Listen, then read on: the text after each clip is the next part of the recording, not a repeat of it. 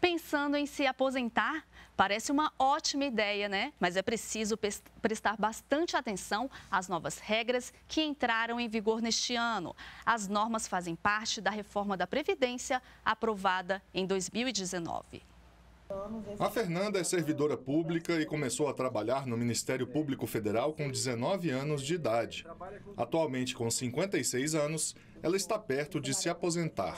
A servidora sabe exatamente quando poderá parar de trabalhar, porque o órgão onde atua criou um sistema que permite aos trabalhadores saber a data exata da aposentadoria. Aqui no meu órgão tem um sistema que a gente vai acompanhando, todo é, vai mudando lá, vai dando é, as opções por onde se aposentar, qual a regra, né? E eu já sabia que quando eu fizer 57 anos é que eu posso me aposentar. Fernanda faz parte do grupo de trabalhadores submetidos às regras de transição para a aposentadoria, criadas com a reforma da Previdência em novembro de 2019. Mas para muitos que estão no mercado de trabalho, não é tão simples programar a aposentadoria. Isto porque são muitas as regras e é preciso ficar atento para não perder dinheiro. Com o sistema atual, é possível se aposentar por pontos, contabilizados a partir da soma da idade e do tempo de contribuição. Neste ano, por exemplo, a regra diz que as mulheres precisam de 91 pontos, com pelo menos 30 anos de contribuição. Já os homens precisam atingir 101 pontos, com pelo menos 35 anos de contribuição. Esses números sobem a cada ano, até 2035 quando mulheres precisarão somar 102 pontos e homens 105.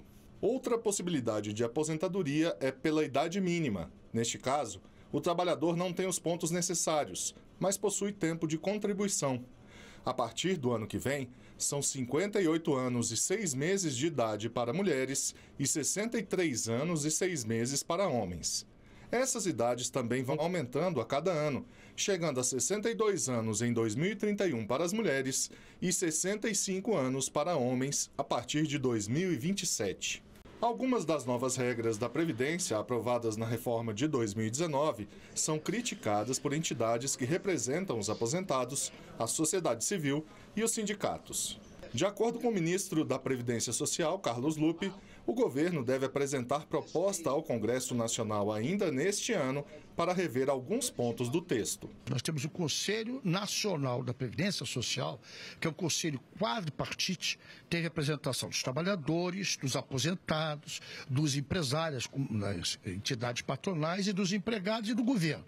Com esse conselho é que se vai discutir qualquer tipo de caminhamento que a gente pode fazer a partir desse ano de 2024. É isso que nós vamos fazer. Eu quero ver os pontos que são mais fragrantemente, notoriamente, todos percebam que são injustos para corrigi-los. Eu dou esse exemplo da questão da pressão da mulher ou do homem, que também pode a mulher morrer e ficar para o homem, que é só 60%. E se você quiser saber com mais detalhes quando vai poder se aposentar, basta baixar o Meu INSS na loja virtual do seu smartphone. É rápido e fácil. Fica a dica.